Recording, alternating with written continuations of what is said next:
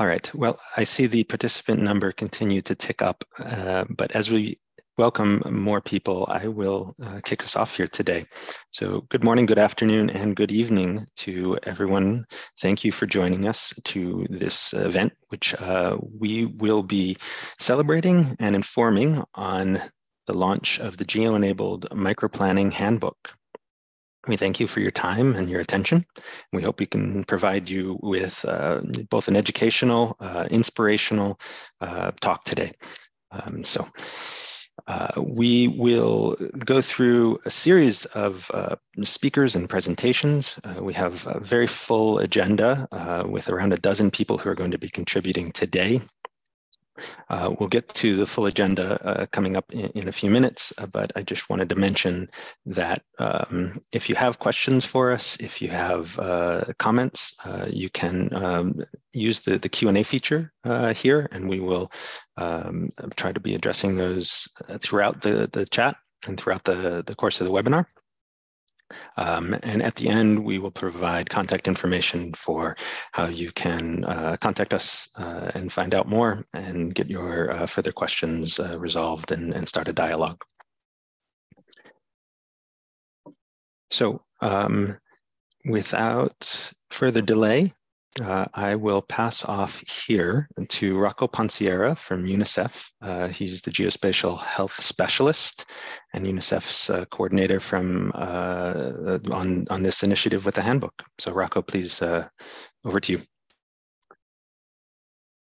Good morning. Thank you, Chris. Good morning, good afternoon, and good evening to all of you joining us. Um, my name is Rocco Panciera. I'm the geospatial health lead in UNICEF uh, New York, and uh, it's my pleasure to welcome you to this event, to this launch of the Geo-enabled Microplanning Handbook. Uh, UNICEF is uh, co-hosting this event uh, in collaboration with WHO, and I will be joined today by my colleague uh, Ravi Shankar, the head of the WHO GIS Center for Health, with whom we will uh, team tag on this presentation. Um, as we will see in detail, geo-enabled microplanning is uh, the application of geospatial data and technologies to improve the planning, delivery, and monitoring of health services. And uh, in the last decade, the utilization of geospatial data and technologies for microplanning has seen an increasing interest uh, from countries and from uh, consequently from development partners including pioneering applications for polio eradication and malaria programs, amongst others. Uh, however, microplanning is not specific to these programs, and therefore establishing the suitable capacity to geo-enable the microplanning process is seen as a stepping stone for improving the coverage of a, a, a, an array of primary healthcare uh, services. Uh, more recently, uh, mainly due to the COVID-19 pandemic, there's been a growing global demand and interest in the area even more so.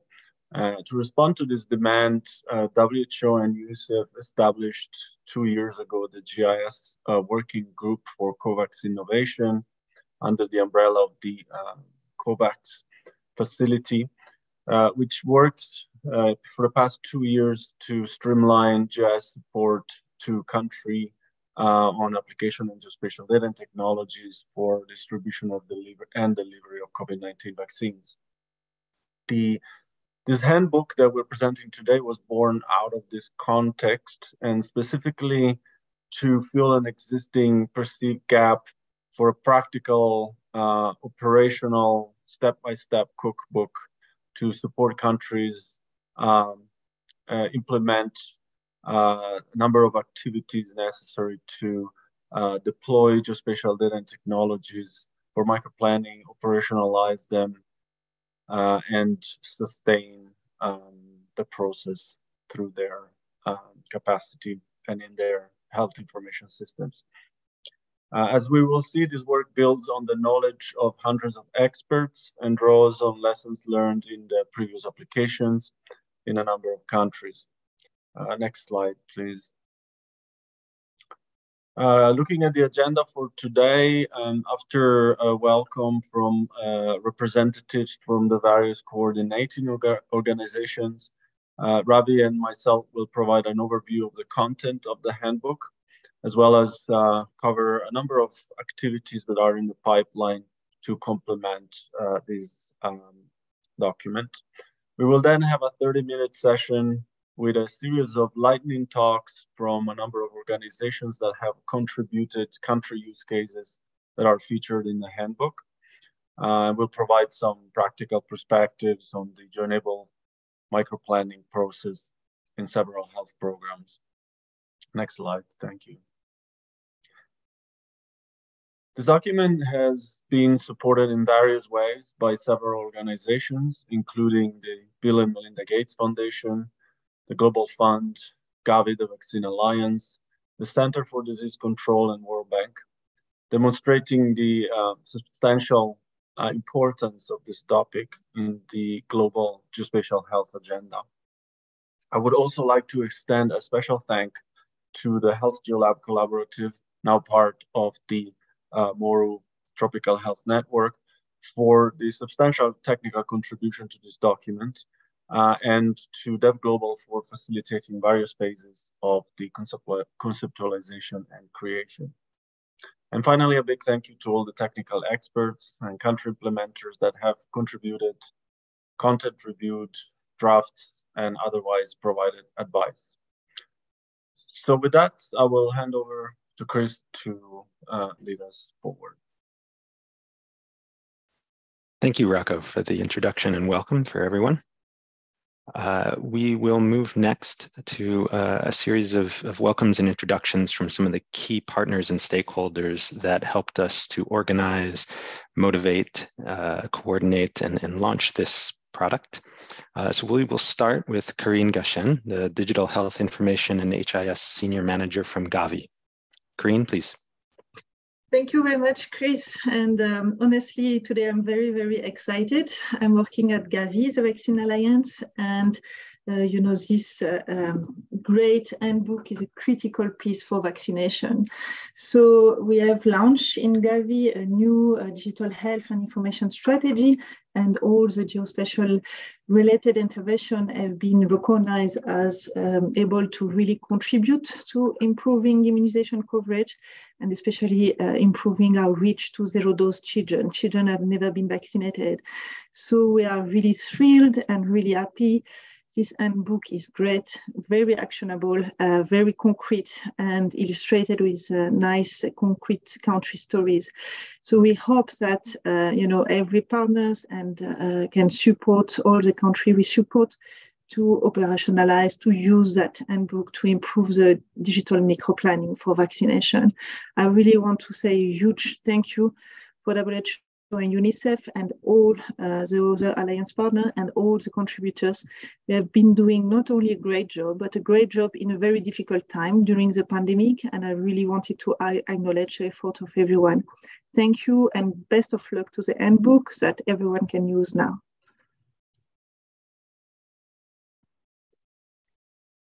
Thank you, Karine. Um, Molly, I don't see you on the call. If you are here, please uh, let us know. But uh, while we're waiting, we will move on to our colleagues at the Center for Disease Control and Prevention in the US, Amber Dismer and Louis Rosenkranz. Thank you so much. Uh, as part of the CDC team that's been reviewing and providing uh, input into this handbook and a core member of the GIS COVAX Technical Working Group, we are both delighted uh, at today's launch. It's so encouraging to have this hands-on handbook to discuss integrating geospatial data and GIS technologies into microplans. Uh, at CDC, we work side by side uh, with all of the with many of these core partners, including ministries of health, uh, WHO, UNICEF, um, and many more, um, to be able to increase vaccination coverage and equitable distribution, especially ensuring that the hard to reach vulnerable populations are considered. Uh, we are thrilled again at the spotlight um, on how to collect and update uh, this core data in a geospatial way, whether that's including a geo-referenced master uh, facility list of, of health facilities or vaccination sites in planning, as well as when you have these unknown villages adding latitude and longitude uh, to them, all the way to creating vaccination coverage survey, uh, vaccination coverage uh, boundaries. Um, while this was written in the co context of COVID-19 pandemic and for strengthening delivery and, and monitoring va of vaccinations, we believe that this handbook is useful across the public health system in many areas. That's why I invited so many people that were across the public health uh, spectrum. It outlines these primary geospatial data sources and most likely places you can find them. Also the level of effort, staffing and re training required uh, to include GIS in your plans and advantages to doing so. We really hope that uh, you see your country's situation reflected in the use cases today and that this sparks a desire to explore more. Uh, so whether you're helping teams uh, monitor vaccination coverage during a district vaccination campaign, or maybe you're located at the health facility uh, seeking to improve the targeted uh, uh, uh, the targeted reach of services, um, this guide has examples for you. And we hope that as you dive in and hear about today's use cases, these are inspiring because maybe version two will highlight your use case. So again, it's so wonderful to celebrate this achievement today with all of you um, and to welcome you into the GIS community. Uh, we welcome future feedback and that know that this geospatial uh, community stands ready to support you. Uh, thanks so much. Over to you, Louis. Thank you, Amber. Uh, well said, and I don't have very much to add to that. I'm, I'm very excited about this as well. Um, you know, for the first time to have a globally uh, accepted uh, unified document that will uh, provide important guidance for this microplanning. So uh, again, thank you, Amber, and um, uh, this is very exciting. Over. Thank you, Amber and Louis. Uh, we echo your enthusiasm and support for this, and, and thank you for your continued participation. Uh, next up is Steeve Ebener uh, from Health Geolab uh, Collaborative and Moru, and he's uh, both a key um, sort of organizing uh, partner as well as a technical expert that heavily contributed to the document. So Steve, over to you. Thanks, Chris, and, and good day, everyone. Um, we are also very pleased at Moru to have had the uh, opportunity to contribute to the writing of this handbook and to celebrate its launching today with all of you. Um, for us as countries are preparing not only for the next potential pandemic, but also other more local, slow or rapid onset disasters, are also monitoring or eliminating communicable diseases and aiming at improving planning. It's critical not to forget about the key role that geography and therefore geospatial data and technologies can play across all of these programs. So together with other documents on which it builds, uh, the handbook help organizations like ours to support countries not only with the geo-enablement of their microplans, but also of the entire health system.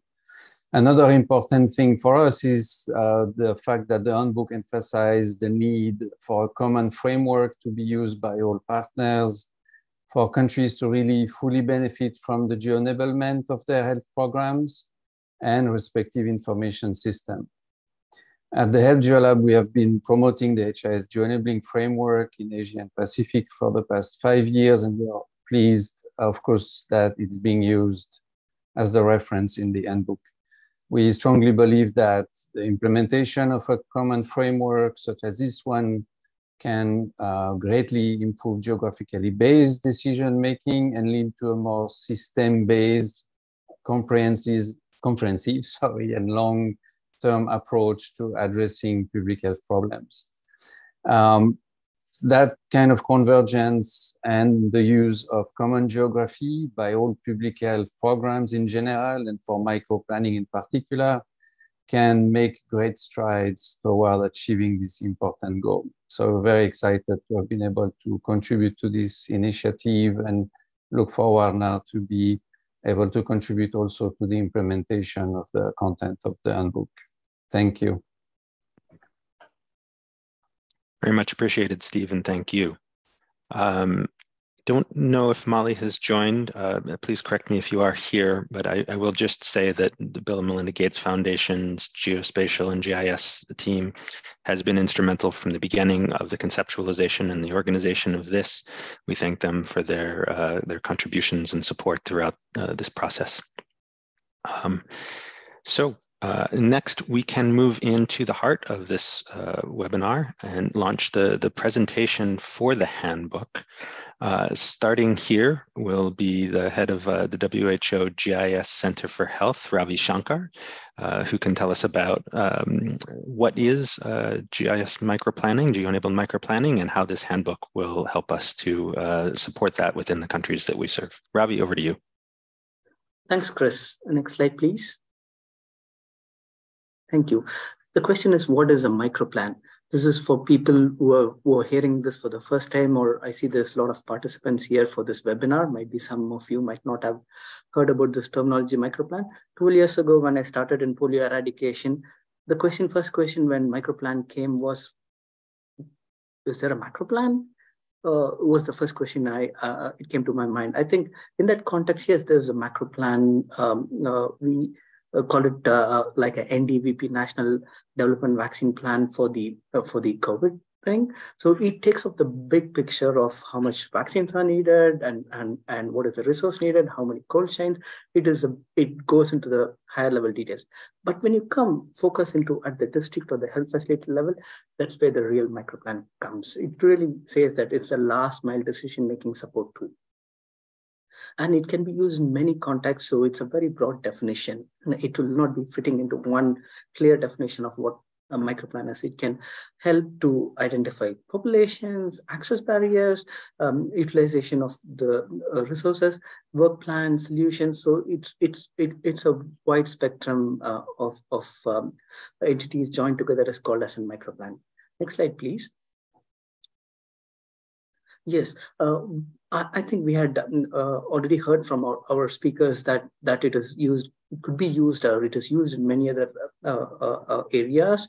Initially, it started with polio, then uh, it expanded to other areas, and it slowly, slowly um, felt the need to be used in many contexts. Um, um, COVID was a recent example, and, and it really played a, a big role in that.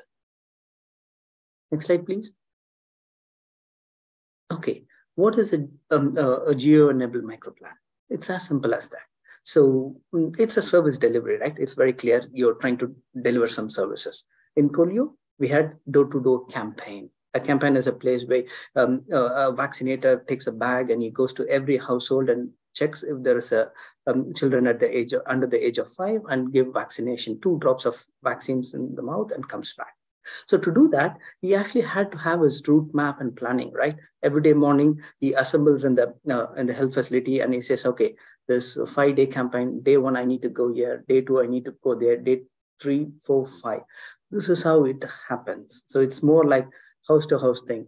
And conversely, in, in, in, in other contexts of routine immunization, you'd like uh, the um, uh, people to come to the health facility. It means you want them to come to the health facility. Many times I talk about this. Even there was a uh, uh, opportunity to meet our Director General, Dr. Tedros. In that um, scenario, we are discussing about this, um, about like a, a McDonald's.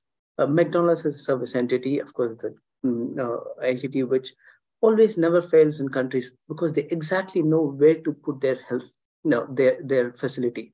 Similar to that, um, um, uh, also we'd like to have the health facilities placed in the exact right location to serve the population. And to do that, traditionally we were doing in hand uh, hand drawn things. This is one example of a thing taken from from uh, uh, Somalia when in Mogadishu it was a very challenging area when we had the you know, uh, outbreak. Um, now, then we were uh, discussing about this and we asked them, we, we call this a handshake. Can you walk to the end of your, your territory and give a handshake with somebody else from the next territory? The reasoning why we do that is to make sure that um, uh, there is no gaps or overlaps between, between, between their um, vaccinators. Then the concept moves into a digital one. Digital one, there are only five components, very easy, satellite imagery. It's a base on which we operate the entire thing. Then you have uh, the location of the health facility, and then you have where people live, the spatial population of where people live. Then you have a catchment boundary. Then you have your travel time.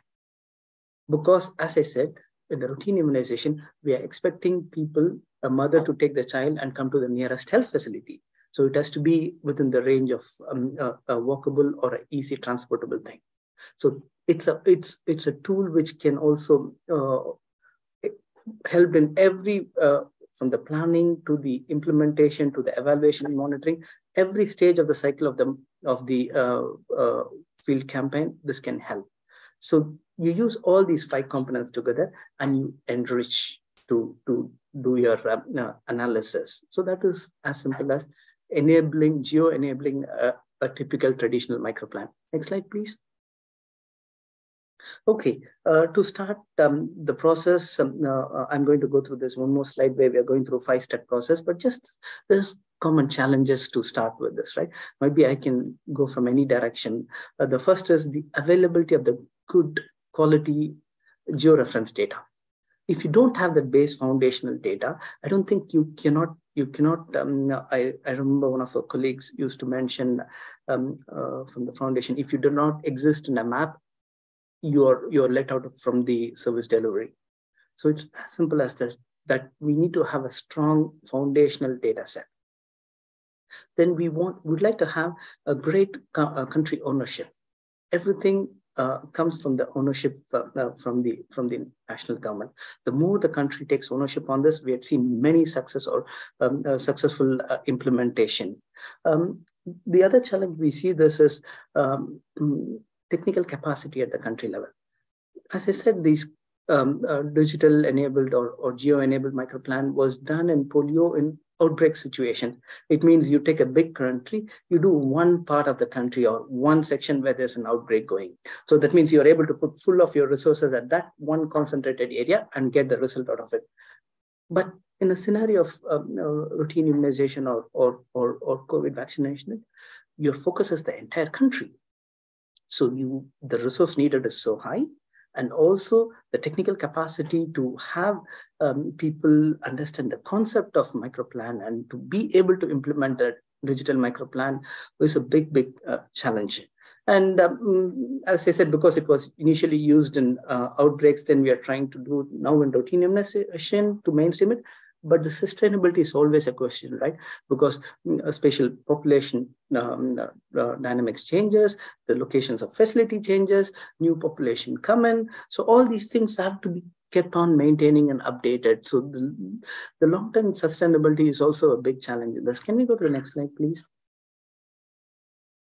Okay, um, that led into, as, as Rocco mentioned very clearly, we were we were discussing this when we wanted to you know, have this working group and things.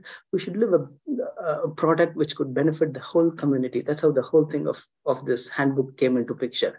So the clear objective of this mm, uh, handbook is fourfold.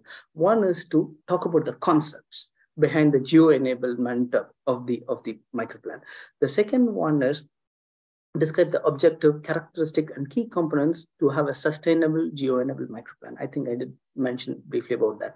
The third one is to have the, uh, it's more like a cookbook, right? From start to end, you should have um, uh, uh, if I'm if I'm a manager, if I'm an implementer, if I'm a decision maker, I should know uh, how I could I could uh, go through the process and uh, from A to Z and be able to implement it.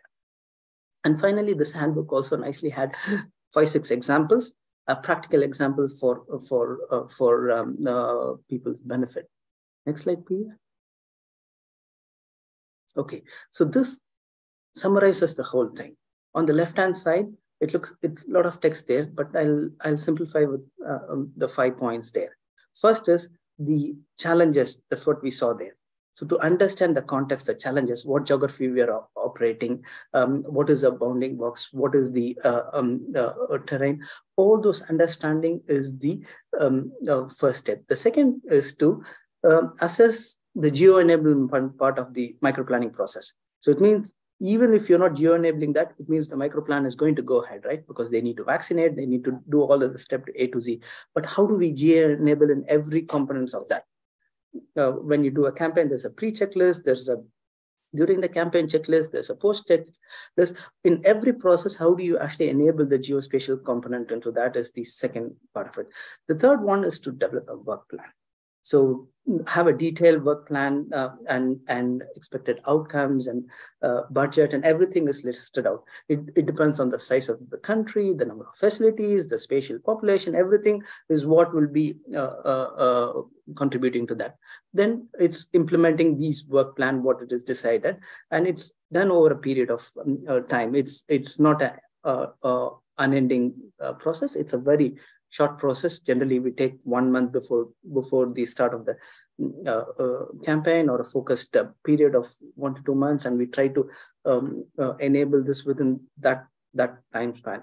But in countries, of course, the process takes some time five months, six months. Also, it takes based on the uh, the capacity, the absorption capacity at that level. The finally is how do you do uh, sustain it? How do you mainstream it? How do you make sure that um, what the benefit is reach, uh, reap for the for the um, malaria can be used for other programs. That sort of thing is the final step. And on the right hand side is the framework, the entire framework. We have gone through this in many other projects right now. I think this is the core thing of this. Um, uh, we call it as strategic pathways in other examples in the UN, they call it as uh, IGA framework. So it is the whole um, um uh, uh, uh, framework through which the whole microplan will be implemented at the, at the, at the country level. Next slide, please. Okay, just few highlights of this um, um, handbook, then I'll, I'll leave the floor to Rocco. So there are four main uh, areas of, of, um, of or uh, uh, attention, we could say. The first one is, is very modular uh, approach for a wide uh, audience. It means it could be for, it, it is focusing both technical, non-technical, senior management. So it covers a, a wide spectrum of audience. The, then is the the four main applications of the geospatial data technology for microplanning. So we are we are doing about uh, health facility master list, which is very uh, critical for the whole process, population, spatial population, uh, accessibility, routing, that, and thematic mapping. So these are the four applications in that, and six use cases. And then we also included a component on monitoring, evaluation, and learning. Uh, with this one, I'll uh, give the floor to uh, Rocco. Please move to the next slide. Thank you. Thank, thank you, Ravi. Uh, I'd, I'd like to go a little bit more into details about the type of information provided in the handbook. Uh, very briefly, uh, overall, there's a, a, lot of practical guidance um, to guide um, readers through the various steps of uh, this process that uh, Ravi has highlighted. And the guidance is presented both in the form of step step by step instructions as well as uh, various diagrams and charts that and toolkit that can guide the realization of the steps, of which you can see some uh, just some examples uh, here in no, no, particular order. Um, at the starting point of this process, the reader is led through a number of steps to establish the fundamental information that are that is needed to design the program uh, and to design a program that will respond to the contextual needs and, uh, of, of, the country. This includes uh, practical guidance on identifying the challenges faced by the microplanning process and by aligning um, specific uh, geospatial data and technology solution to those challenges. Uh, again, practical tools are provided to um, go through this process. Um, uh, the uh, there's also guidance around um, understanding the documenting the geography of the microplan, a, a crucial steps uh, where the geographic objects that are relevant to the program and have specific programs that we're, we're doing the microplanning for um, are relevant to, and that will therefore need to be represented in the GIS system uh, through data. Um, this will then lead to the steps to assess and uh, document the availability, quality, and accessibility of the relevant data. And as well as, as mentioned uh, already a couple of times, the assessment of the maturity of the enabling environment, uh, which um, ensures that the process that is implemented is cognizant of the specific country context in terms of technical capacity, uh, data availability, but also in terms of the institutional supporting framework. Next slide, please. The four main applications of uh, that are um, uh, featured in the book uh, which in combination, generally in combination, support the microplanning, uh, are described in detail. Um, however, the information is distributed so as to be relevant to the specific phase of the enabling process. For example, you know, the first stage of planning, the, the purpose, audience, and, and, and details on the methodology are described in broad terms. Uh, then um, guidance is then provided on the definition of the content and specific formats uh, of the products that we produced once the, the needs and the users have been identified so that the, the, the, the right products are uh, developed for the right audience, for the right needs. Then guidance is provided on uh, assessing data availability and quality uh, once the process is at the stage of uh, implementation. And practical considerations are suggested in relation to the uh, operational deployment of these various applications and uh, in relation to the operationalization. Uh, in later parts of the documents, uh, there's also guidance around sustaining the, um, the use, the update, and the um, storing and maintaining of the data and products. Next slides, please. Uh, beyond the specific guidance on the technical products, the realization operationalization, the, the handbook uh, dedicates significant attention to the range of activities that will be needed to uh, the, to lay down a country level uh, work plan for the full realization of the geo-enabling process. This includes, for example, guidance on uh, establishing a governance or coordinating body that will oversee the geo-enabling process.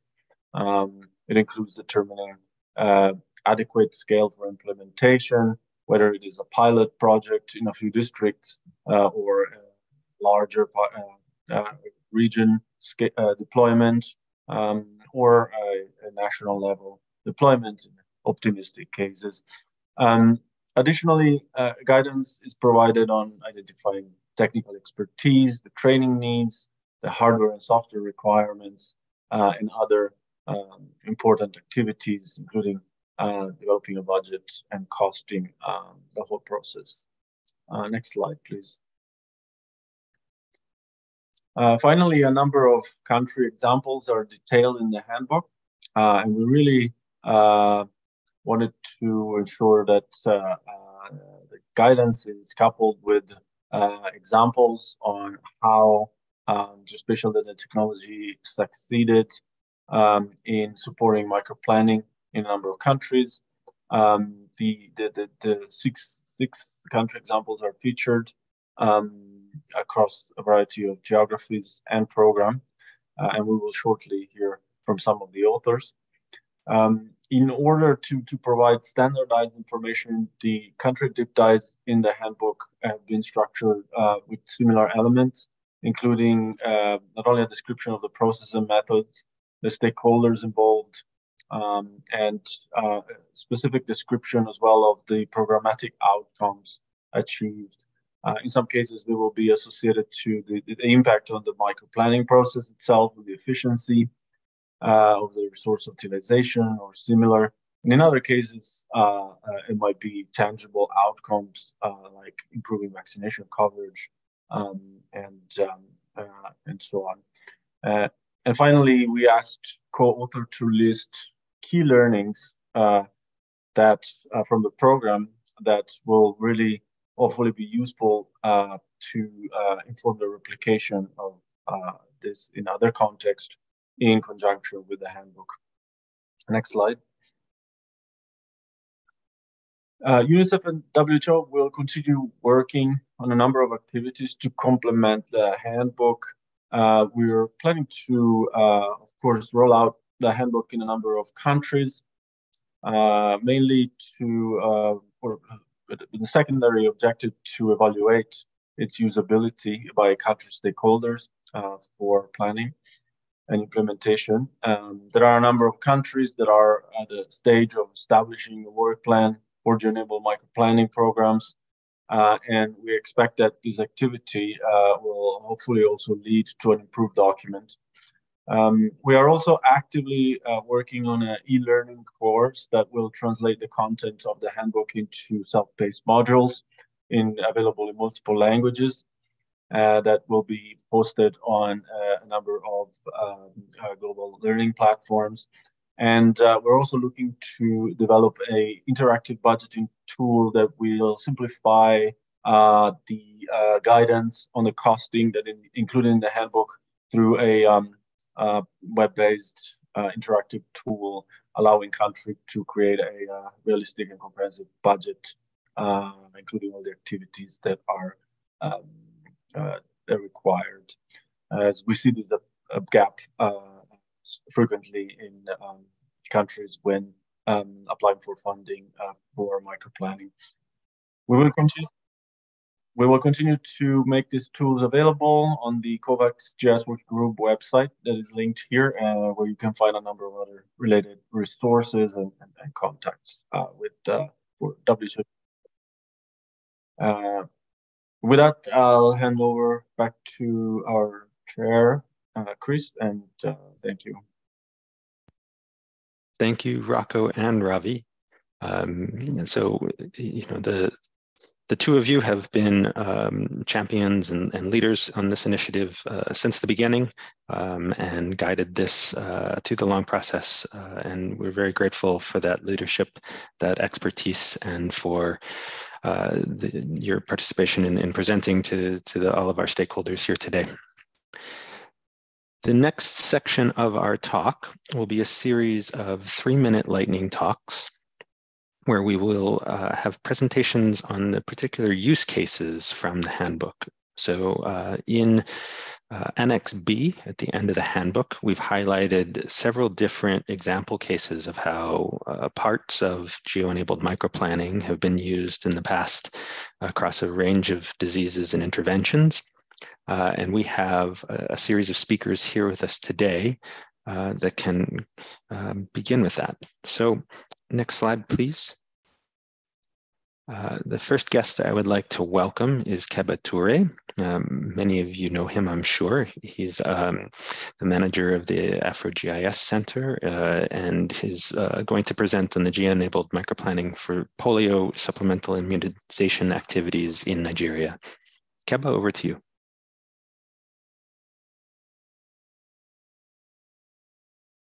Thank you very much, Chris. Uh, good uh, afternoon, good morning, good evening, everyone. Um, it's a pleasure to be part of this uh, process, and thanks for the opportunity uh, to share Nigeria's use case for polio eradication in terms of uh, GIS microplanning. Just to highlight that um, I'm making this presentation to several people, partners, uh, colleagues um, who have contributed immensely, especially with the leadership from the National Nigeria Primary Healthcare Development Agency, NPHCDA, uh, over the years uh, that made this a huge success in the country. Um, thank you. Uh, microplanning, as you've heard uh, from the introductions, is a key component for us uh, at, uh, to conduct polio supplemental immunization activities. First and foremost, before you give vaccines to kids, you need to know where these children live. And this is where microplanning becomes handy when we started this initiative way back in Nigeria, um, we realized the use of hand-drawn paper maps for microplanning, as you can see um, highlighted on the slide here. Um, in most cases, hand-drawn maps are usually not complete and in some cases inaccurate, and they are unable to also capture all the settlements uh, that are supposed to be part of uh, various team areas. And as a result, you would see team areas one, two, three, four, four, five, and so on and so forth. So when, when we came in first, we had to make sure uh, that uh, we shift uh, from hand-drawn maps to what we call GIS maps. You will see in the next slide, next. So when, when we did uh, this initiative, as you will see on this other map, uh, we asked uh, the areas where this innovation was piloted mainly in the northern states of Nigeria at the time it carries the heavy burden of poliovirus um, circulation in the country we requested the same um, work focal person to delineate their same team areas on the GIS microplanning maps you will see on two. You realize uh, some gaps in terms of missing settlements, which means the paper maps we are not capturing uh, to a large extent all the settlements that are meant to be part of the team areas. And this is where GIS mapping comes handy.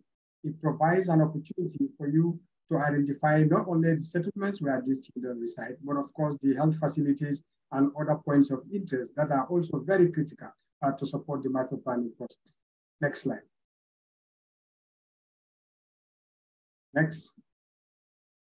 Thank you. So, so when these maps are developed, um, um, they were able to, the previous slide, sorry, uh, when these maps are developed, uh, in addition to supporting the house-to-house -house polio campaigns, uh, they were also used uh, to support uh, um, um, routine immunization, microplanning processes, for example, IPV. You are able to identify health facilities and then create some buffers around those health facilities to determine um, the number of people living in that area. And again, in terms of health camps, you are able to use these GIS maps um, to, to delineate uh, health camp areas. And that makes it very efficient and easy for you to plan your various vaccination activities.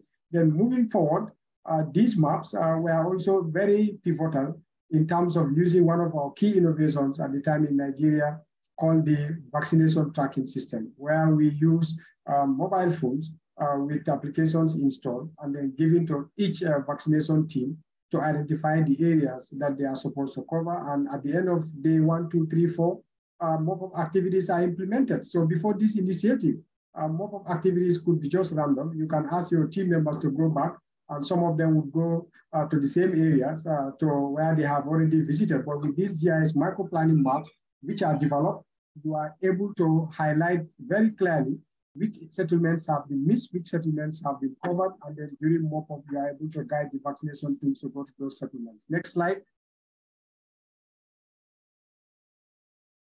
So, so what this uh, micro-planning uh, process helps us is, of course, there is a need to also be updating uh, these micro-planning maps. So what we noticed in Nigeria at the time, especially in some of the states where we implemented this innovation, uh, we monitored over time, at least the last three campaigns, uh, we identify settlements that have been consistently missed by vaccination teams. Of course, we wanted to know why, and these settlements were called chronically missed settlements. Uh, we upload this uh, on tablets. As you can see, we call the, uh, the innovation Hamlet Buster, and then train the word focal persons to locate these settlements, ensuring that these settlements are indeed covered in subsequent rounds. What we found out briefly in some of those settlements, as you see on one of the pictures, zero those children the word focal person would either say, I never knew this settlement is part of my uh, ward, and another one would say, I thought it belongs to the neighboring ward. Of course, there are other settlements that have been deserted, but we are still able to locate uh, this type of settlements, which means with this information also connected to this Hamlet Buster, you are able to update your microplan. So which means the microplanning process is not a one-off process. It is a continuous process uh, people will keep moving, new settlements may come up, uh, you may need to delineate uh, new team areas to rationalize your team load, ensuring that uh, the vaccination teams are giving areas that are able to cover effectively. And the good thing about the GIS microplanning is for polio, every last child counts. So which means uh, wherever a settlement is, regardless of the distance, you need to ensure you reach these settlements. And it is only through this GIS-based microplanning that you can guide your teams effectively to cover these settlements. So this innovation, this initiative, as I said, um, was um, implemented uh, as a collaborative mechanism. Um, several partners, uh, WHO, the Bill Melinda Gates Foundation, uh, the Nigeria Private Healthcare Development Agency, UNICEF, CDC, Novel-T eHealth, a lot of other stakeholders contributed immensely to this success. And I think up till now, these maps continue to be used for other health interventions and for sustainability, this is very critical for this geo-enabled microplanning process. Thank you. Over to you, Chris. Thank you so much, Kebba, uh, for the information and for your participation uh, both here and throughout the process of creating the handbook. Uh, the next lightning talk will be uh, from Nazir Halaru, uh, the Nigeria country manager for Grid 3.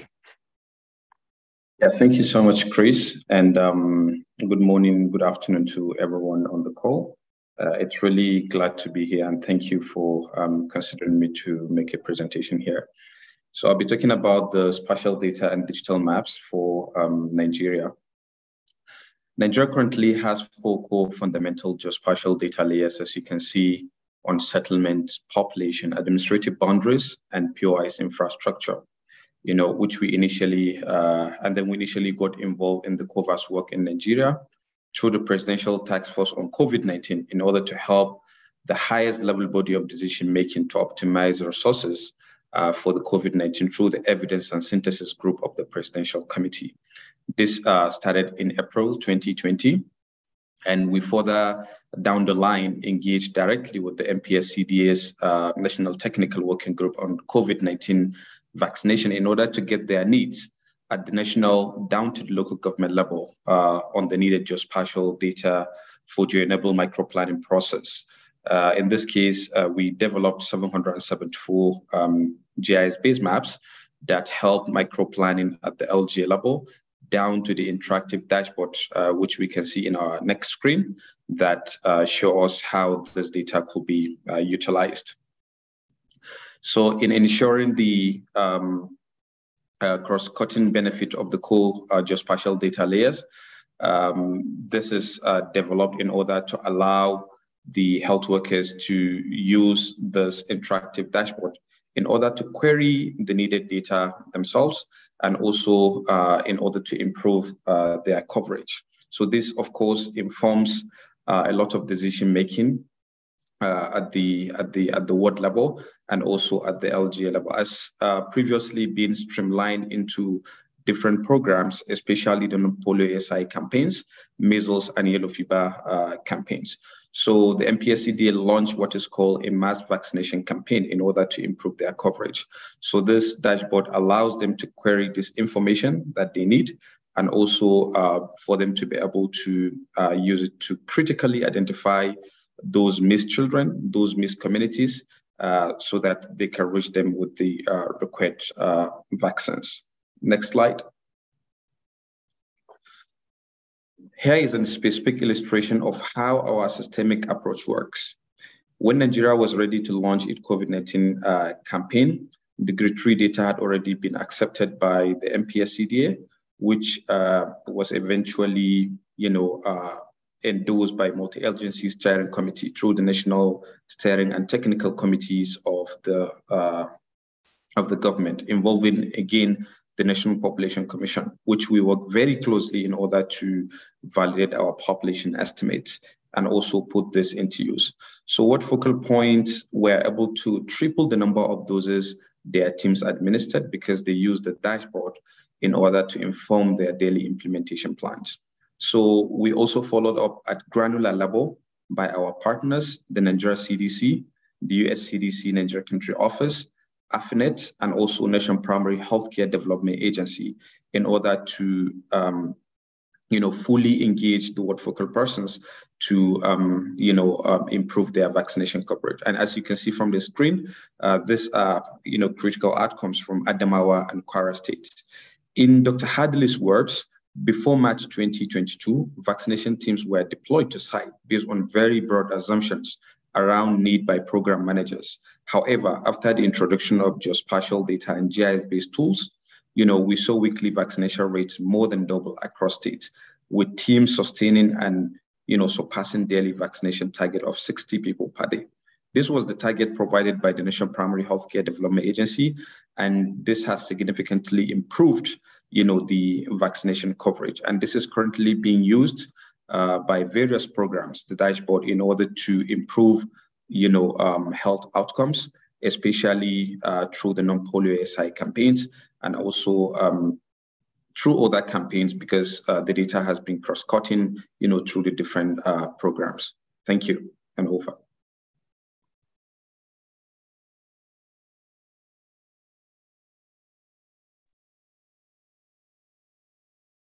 Thank you so much. So we will continue on with uh, the next presentation. Uh, can everyone hear me? It says I'm muted even though I'm not. Let's try again. Yes, we can. Okay, apologies there. Uh, the next presentation is also from grid three, uh, and we will move over to Garikai Mbele.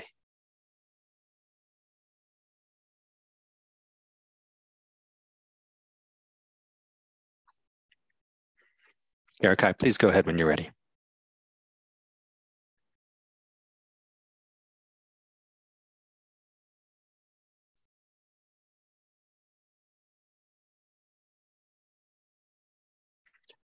Garrick, can can you hear us?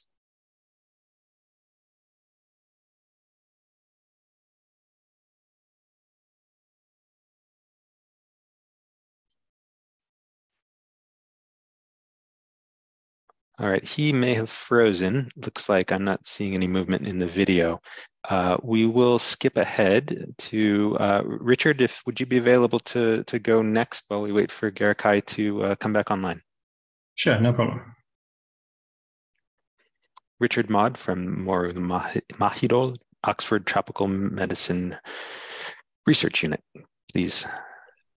Thanks, Chris. Um, so I'm going to tell the story of malaria stratification in Cambodia that we've been supporting since 2019. This has been on behalf of the Cambodia National Malaria Program. Next slide, please. So it's crucial for Cambodia to stratify the country uh, down to village level for malaria, because they're wanting to target uh, their use of resources to make things as efficient as possible. So was a key recommendation from the National Program Review in 2019 that they need to do everything down to village level. So where they put village malaria workers, how they deliver bed nets um, to make the best use of available funds. So we worked together with the national program and partners to come up with a simple method for stratification with um, incidence rate, so number of cases divided by population, as a measure of current risk. Um, coverage of forest as a measure of potential risk, because in Cambodia, most of the transmission happens in and around forests and then also the distance to the nearest health facility, because the further from a health facility a village is, the bigger the need for a village malaria worker. So we ran a, a consultative workshop with um, stakeholders. You can see a picture there of some of the participants at the end of 2019 to develop this method. And then we ran a pilot on one province. Next slide.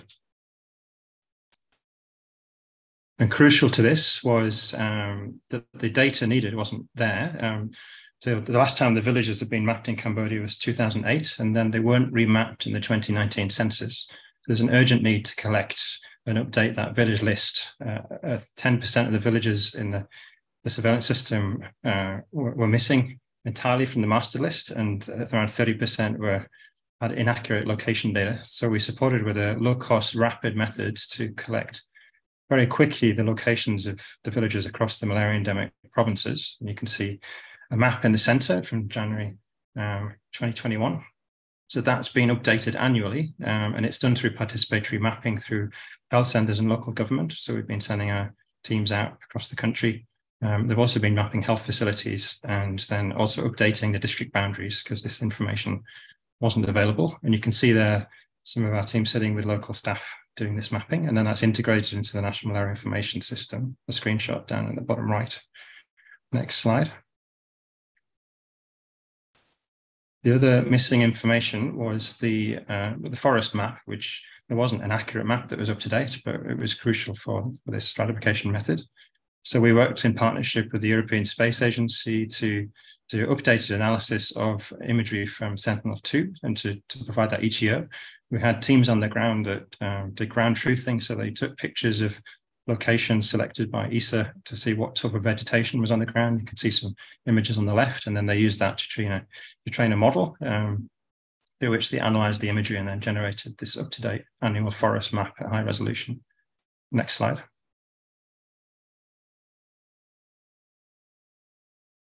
And then the outcomes, this, this has been central to Cambodia's planning. So it's government owned. Uh, it's updated annually with a method that they now entirely own and, and run. Um, and the village stratification is what the malaria information system is currently based around with that master list. Um, it allows quick identification of outbreaks at fine scale and also quick identification of data quality issues. It's greatly increased the trust in the data from um, local staff and health facility staff. They've seen that the, information is much more accurate than it used to be. Uh, there's much better monitoring and evaluation of VMW and health facility performance. And as a result, there's been very large decreases in malaria since 2019. So they're, they're well on track now for achieving elimination. And it's formed the basis of the National Strategic Plan and also their current Global Fund application. So they, they're funding for the next three years. There's a couple of maps on this slide of just how this stratification changes each year. So each of these points is a village and the colors show the, the level of risk for, the, for those villages. So there's, there's different strata. And just acknowledge the national program and the various staff involved. Thank you.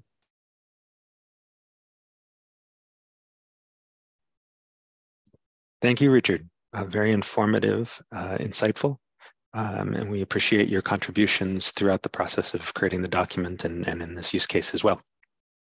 Uh, it looks like Garikai's uh, internet situation has resolved, uh, so we will go back to grid three. Uh, Garakai, please over to you. Thank you very much. Um, good morning, good afternoon. Yeah, my name is Garikai Membele, working with uh, grid three in Zambia. Next slide, please. And next slide. Thank you.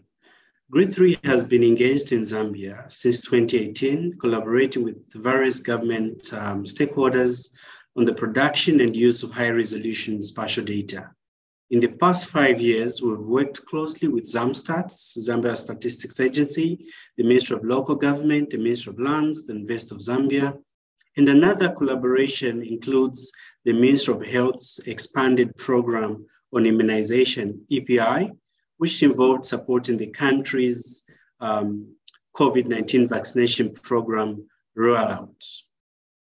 We provided support to the Ministry of Health since the start of the COVID-19 pandemic in 2020 to raise awareness of geospatial data for COVID-19 um, response.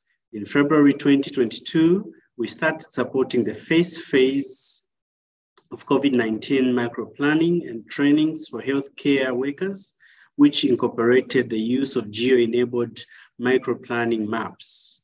And over uh, 3,100 health workers were trained.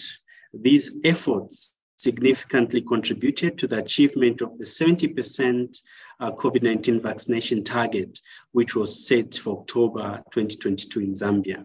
And we are currently supporting phase two microplanning trainings around three COVID-19 campaigns in which nearly 1,000 health workers are expected to be trained. Next slide, please. Next slide, thank you. The maps provided were tailored to fit uh, EPI's uh, needs in line with the RED/REC strategy on which the microplanning template uh, was developed geospatial uh, accessibility analysis was conducted to identify um, settlements in line with the outreach strategy based on the distance of communities from health facilities to help um, health workers to plan for service delivery. The maps were embedded in the completed health facility microplan uh, Excel. That's, uh, I think if you can go back to the previous slides to just help the listeners understand that. Yes, that one, thank you. And an SOP on how to use geospatial maps um, for microplanning was done and shared with the healthcare workers and district officers. You can go to the next slide. Thank you. The geo-enabled maps were integrated into microplans and EPI's COVID-19 campaigns nationwide.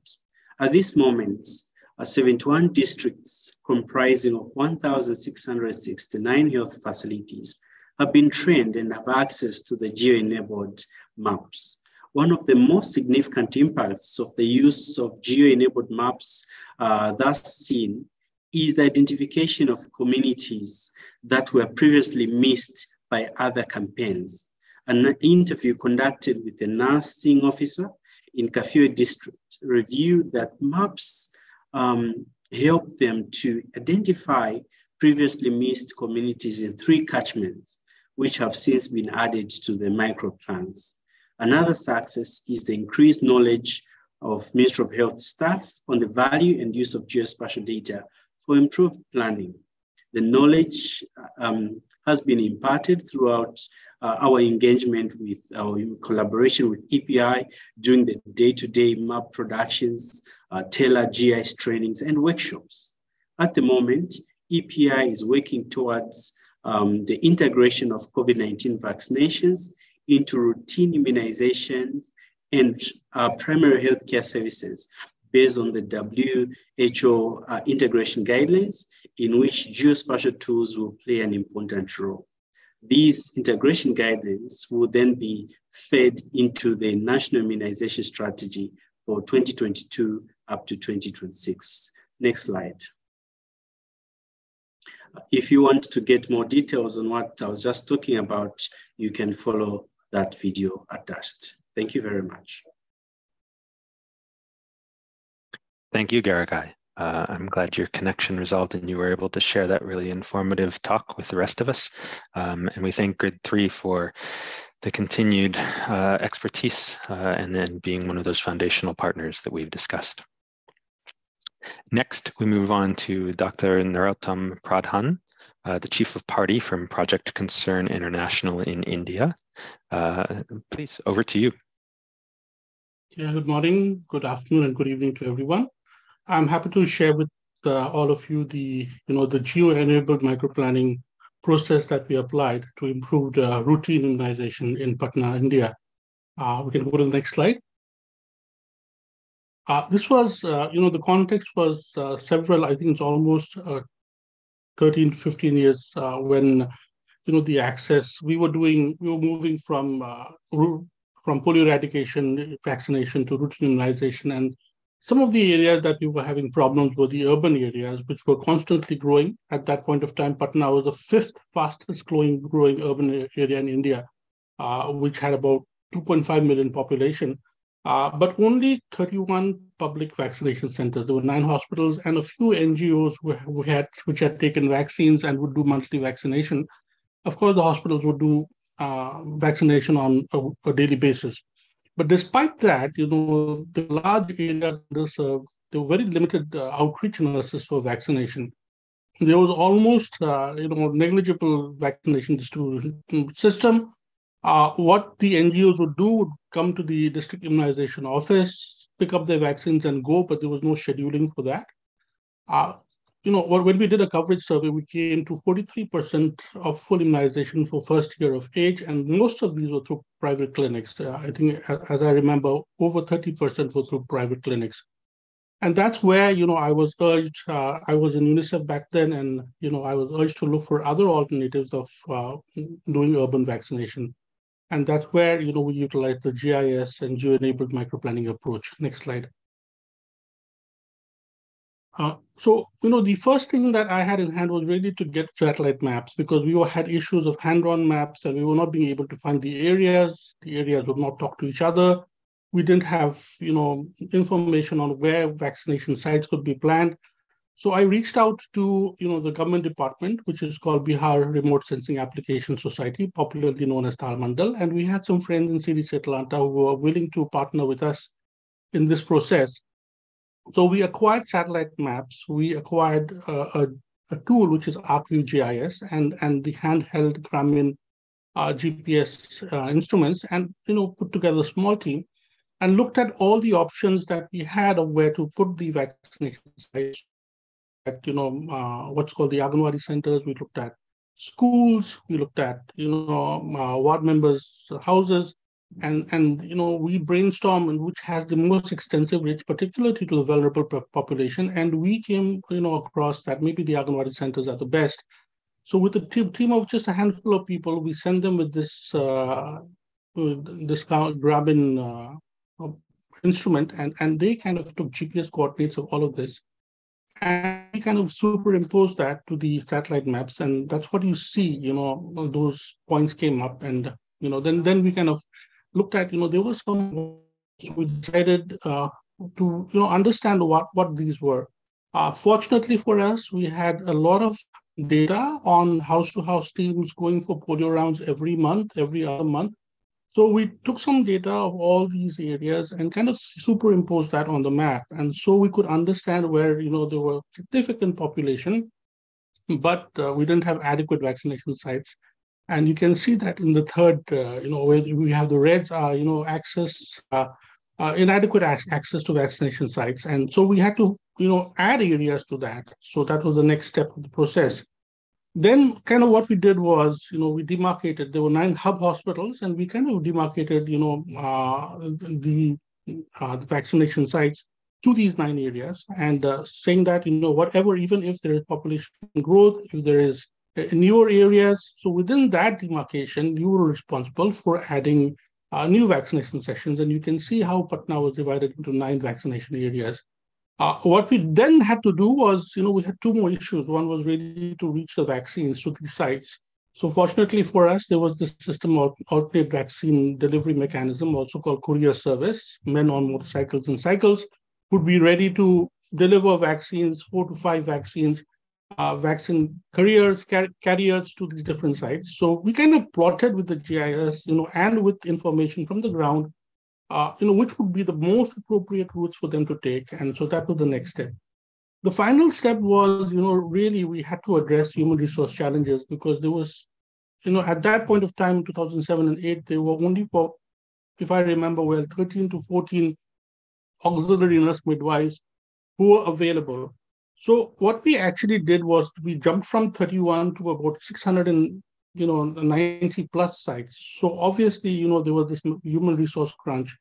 So what we had to do was look for alternative days because uh, you know the, the regular days for vaccinations were on Wednesdays and Fridays. So we had to borrow some um, uh, nurses from nearby rural areas on non-working days. So we figured out that Monday and Saturday they were free.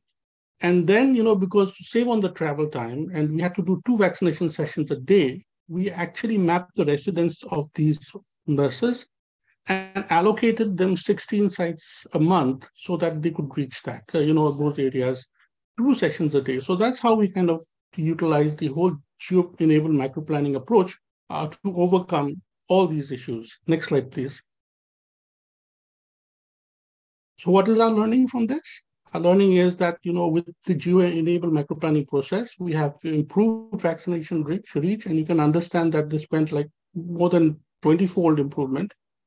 Uh, and of course, you know, there was a reduction in underserved population pockets because we identify that with the, uh, you know, the population clustering and the population access uh, kind of heat maps.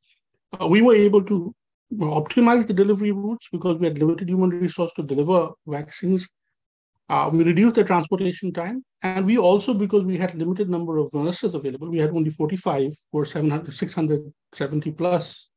Uh, you know, we, we this whole geo-enabled microplanning process helped us to reduce their travel time so they could go to two sessions a day. And from the first year itself, you know, from 43.8%, you know, in the first year, we jumped up to 69.8%, both through surveys and through data as well, MIS data. And, and you know, there has been continued improvement in the subsequent years. So that's a lot of learning through utilization of this uh, geo-enabled micro planning process. Next slide. And uh, that's my final slide. And I'd like to acknowledge, for the Department of Health and Statistical Society Community Bihar India, WHO and PSP, which helped us with the data of house-to-house -house vaccination team, UNICEF Field Officer Bihar, of which I was a part, the Bihar Remote Sensing Application Center, which gave us the satellite maps, and the Global Immunization uh, Division, CDC Atlanta, which gives us the technology and technical support. So with that, I'd like to end. Thank you so much. Thank you so much, Dr. Pradhan. Um, Pradhan. So uh, just a, a, comment on that, uh, you know, this um, whole initiative, the, the Geo-Enabled Microplanning Handbook, started as uh, a response for, for COVID and, and part of the COVAX initiative. And we were looking at this as in um, the, the motivation was uh, emergency response. But from the very beginning, we understood and we had a strong goal to make sure that uh, whatever we created in this document was just as applicable towards long-term sustainable programs, towards routine immunizations. So it's very important to have this use case as part of the, the guidance that we've created and to look at how um, it can be used on, on everyday programs going in, in every country in the world. So thank you very much. And the last lightning talk that we have here is Derek Pollard from Akros. Uh, thank you for being with us, and I'll, I'll pass it to you. Thanks, Chris, and uh, hi to everyone listening in.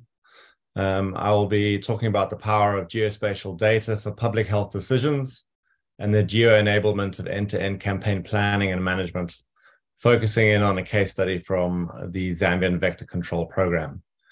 Next slide. Indoor res residual spraying and insecticide-treated nets have been Zambia's primary vector control tools against malaria with the goal of achieving 100% vector control coverage.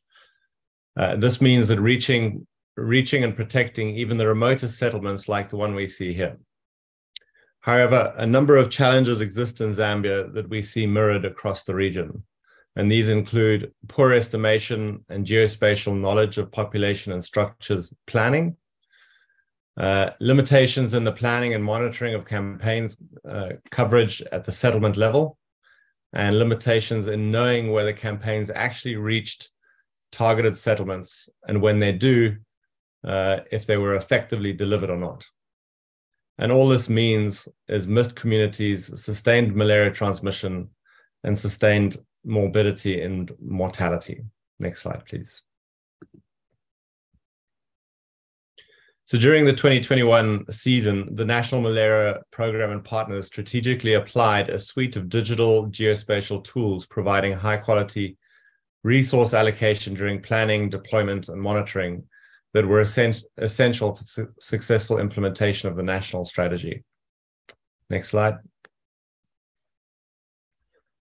Um, Akros supported the Zambia program to microplan for its IRS and ITN campaigns using detailed maps with population and structure count estimates down to the settlement area level. To start, um, Akros engaged health facilities to map and verify their catchment boundaries of all 116 catchments in Zambia. Using these accurate boundaries, Grid 3 data was used to derive settlement level and health facility level population and structure estimates and then these estimates were further refined using field verified data capture captured through um, the Reveal tool. After piloting and refining, maps were created and distributed alongside a user guide template to support the program's resource planning activities down to health facility level. The outcome was to ensure available resources were applied where they were needed most, and really to ensure that all communities were accounted for in planning. Next slide, please. In 21 high priority district, districts supported by PATH and PMI, the Reveal geospatial platform was used alongside IRS operations to enhance accountability for vector control coverage by firstly guiding field teams to targeted settlements that were defined during microplanning. Secondly, to provide real-time offline spatial feedback to field teams to ensure that high coverage and high impact was achieved in each settlement reached. And lastly, to identify and guide any mop-up mop-up activities uh, to missed structures during the first round of the campaign.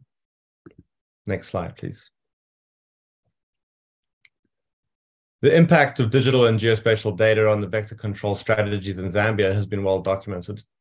Uh, in this particular use case, mapping supported microplanning uh, minimize the co-deployment of ITNs and IRS and mac maximize the population reached across the country. National staff are now rethinking indicators used to measure vector control coverage to ensure that decision-making around planning and targeting for interventions includes entire population communities uh, and to ensure no one is left behind. Um, we've also seen an increased adherence by the field teams to only deliver to targeted settlements, which has resulted in more real, realistic uh, micro planning as a, a, secondary impact. And lastly, increased coverage uh, and significant reductions in the cost per case averted have also been achieved. So as a result, um, Akros has implemented similar geo-enabled approaches for integrated campaign planning in other countries across the region and across other health programs. And to end with, we're seeing a growing demand for granular geospatial approaches like these that can really add value to health planning and deployment. And this, hand, this handbook will certainly be an asset moving forward. Thank you. Thank you, Derek. Very much appreciated this perspective. Uh, and a big thank you to all of our um, Lightning Talk speakers. Uh, I also want to say a word of thanks to uh, one more. Uh, Novel-T was uh, going to speak today. Uh, they were ready and put a lot of effort into this. And because of, um, you know, we had a, another speaker open up an opportunity to talk. we weren't able to go to Novel-T, but I want to thank them for their participation in this as well.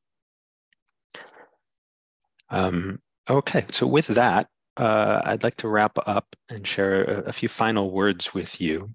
Um, for those of you that don't know me, my, my name is Chris Jung, um, and I have been involved in this microplanning handbook initiative since the beginning, uh, kind of in, in, the middle of 2021. Um, this event is uh, really the, the, bringing together and, and, the celebration of that work uh, and, and, an opportunity for us to get the word out. Um, so we, I want to uh, just a little bit talk about that.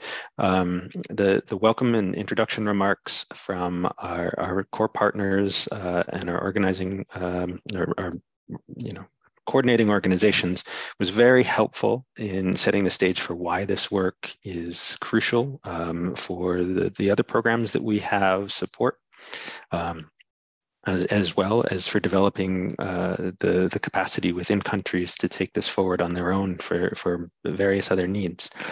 Um, the presentation, uh, I hope, sparked your interest for understanding more about the technical and programmatic aspects of geo-enabled microplanning. And then these lightning talks were an example of use cases of how these tools, technologies, approaches uh, have been used already in a variety of countries uh, in different contexts, and different uh, disease burdens and we hope we can that you can see uh, yourself in some of those use cases uh, and how the, those examples can be applicable towards how you might put this to use um, for yourself.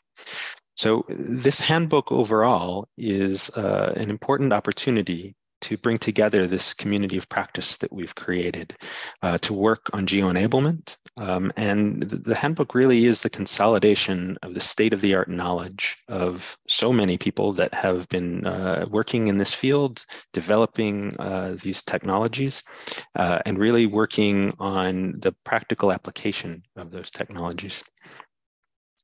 Uh, as such, uh, this is not done in a vacuum. Uh, we mentioned earlier, but uh, I'll re reiterate that this builds on the work of many others, uh, several guidance documents that have been published before.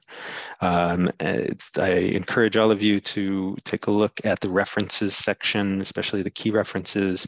Um, and there's so many documents that uh, highlight really the foundation uh, that, that we've stepped uh, into here.